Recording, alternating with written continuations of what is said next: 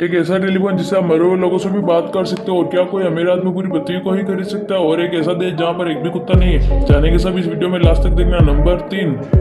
दोस्तों चाइना में एक बंदे ने एक ऐसे टेलीफोन का आविष्कार किया जिससे आप मरे हुए लोगों, अपने परिवार वालों से बात कर सकते हो। और अब तक जिन लोगों ने भी इस टेलीफोन से बात की, उन लोगों का कहना है कि इनमें से बहुत ही अजीबो गरीब आवाज़ आती है और कुछ ही देर में कॉल भी कट हो जाती है। नंबर दो चाँद और मंगल पर लाखों करोड़ों में ज़मीन खरीद रहे हैं, लेकिन क्या दुनिया में ऐसा कोई व्यक्ति है जो पूरी पूरी पृथ्वी को ही खरीद सके? दरअसल हाल ही में एस्ट्रोफिजिक क्लीन पृथ्वी ने उम्र स्थिति खनिजों, सभी चीज़ों के आधार पर कैलकुलेशन करके पूरी पृथ्वी की कीमत तीन लाख छिहत्तर हज़ार दो सौ अट्ठावन खरब रुपए बताई है और ये कीमत इतनी है कि अभी तक छोड़ो, पूरे इतिहास में ऐसा कोई बंदा नहीं जिसके पास इतना पैसा हो।